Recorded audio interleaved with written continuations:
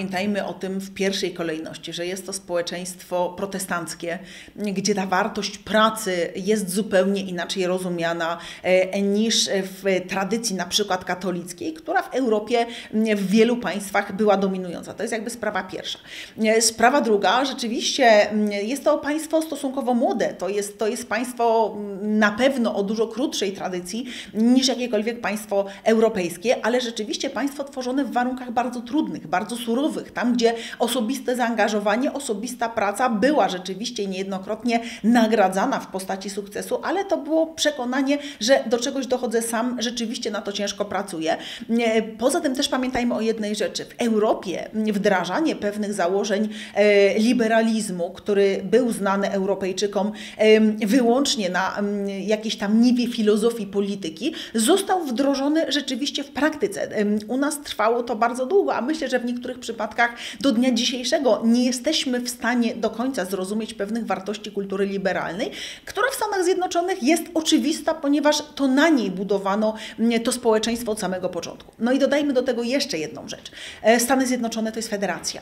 E, w związku z tym e, obywatele są bardzo mocno zaangażowani w życie tego państwa, w życie wspólnot lokalnych, w życie stanów, zupełnie inaczej niż w Europie. Funkcjonowanie w ramach państwa federalnego wymusza niejako, czy może inaczej stwarza w naturalny sposób możliwość angażowania się obywateli w kwestie lokalne. Proszę zwrócić uwagę nawet na podstawie prostych formatów telewizyjnych oferowanych przeciętnemu widzowi. Na przykład program pokazujący remont domu komuś, kto jest w trudnej sytuacji życiowej. Tak? W Polsce też e, takie programy ostatnio się pojawiły. Tylko co jest ciekawe, w Polsce pokazuje się biedę, e, pokazuje się, że jest jakiś problem, rodzina z czymś sobie nie radzi i nagle zjawia się ekipa telewizyjna określonej e, firmy, tak, i ona coś zrobi, bo ktoś ma źle. W Stanach Zjednoczonych tego typu programy nie pokazują, pomagamy, bo jest biednie i ktoś silniejszy e, powinien to zrobić. Tam jest kładziony nacisk, dlaczego pomagamy. Bo to jest lokalny bohater, bo to jest ktoś, kto za darmo prowadzi lokalną drużynę, bo to jest ktoś, kto dla społeczności lokalnej coś zrobił. U nas takiego myślenia niestety nie ma.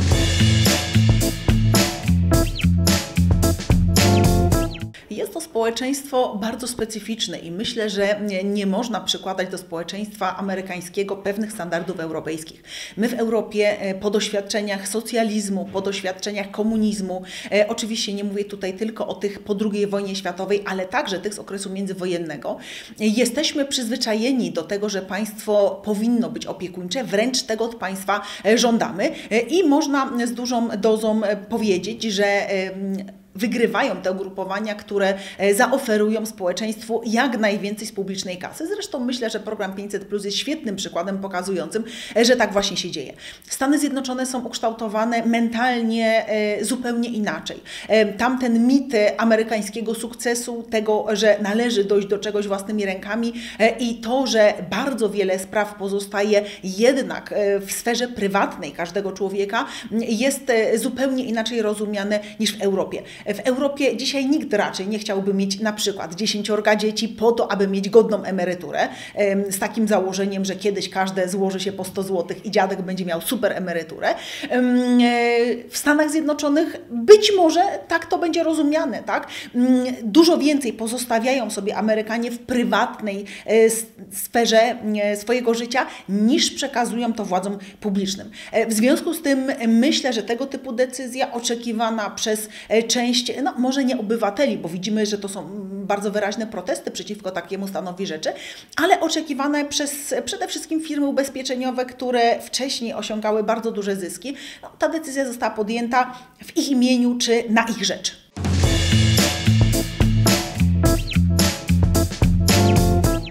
Co Donald Trump będzie nam proponował, to pewnie dopiero wyjdzie w praniu, powiem kolokwialnie, ponieważ e, wszyscy mieli ogromną nadzieję, że z tego przemówienia inauguracyjnego czegokolwiek się dowiemy. A nie dowiedzieliśmy się zupełnie niczego.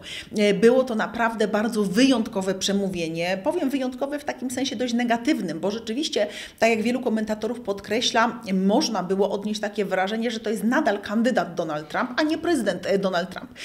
Dlaczego oceniam to wystąpienie dość negatywnie? Zostało ono określone jako takie populistyczno-nacjonalistyczne.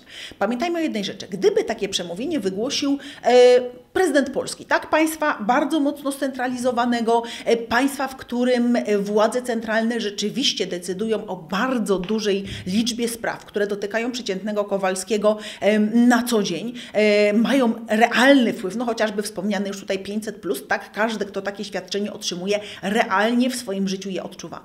Jeszcze raz przypomnę, Stany Zjednoczone są federacją i prezydent Donald Trump jest, czy reprezentuje urząd, który w systemie politycznym federacji ma odgrywać określoną rolę.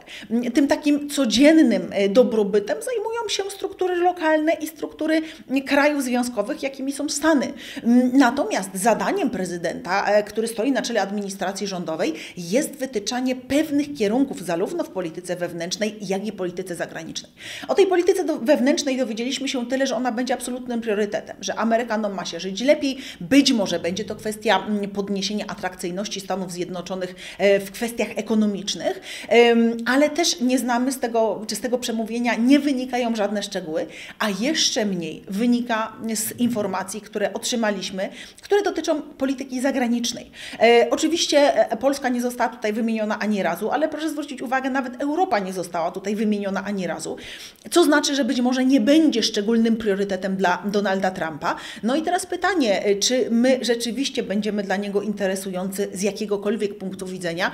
Mm, oczywiście polskie władze wypowiadają się powściągliwie i zresztą należy je za to pochwalić. Trudno mi sobie wyobrazić, aby e, polskie władze zaogniały sytuację, czy nie mając dostatecznych danych wypowiadały się negatywnie, e, a więc takie trochę wishful thinking, zobaczymy, bo może będzie jednak dobrze, mm, jest tutaj czymś pożądanym, natomiast jak to będzie wyglądało w praktyce, to jest za trudne pytanie, aby móc na nie dzisiaj odpowiedzieć. A kiedy będziemy mogli tak realnie odpowiedzieć? Za trzy miesiące, za rok? Wszystko zależy tutaj od pana prezydenta Trumpa, kiedy jakiekolwiek decyzje podejmie. Wiemy już, że pierwszym e, przywódcą e, państwa pochodzącego spoza Stanów Zjednoczonych będzie Theresa May, czyli e, premier Wielkiej Brytanii, a zatem to podniesienie rangi czy podkreślenie wagi sojuszu w ramach anglosaskiej kultury będzie na pewno dla Donalda Trumpa rzeczą ważną, ale proszę zwrócić uwagę, spotyka się w pierwszej kolejności z premierem państwa, które całkiem niedawno postanowiło opuścić Unię Europejską Europejską, co też jest bardzo symptomatyczne.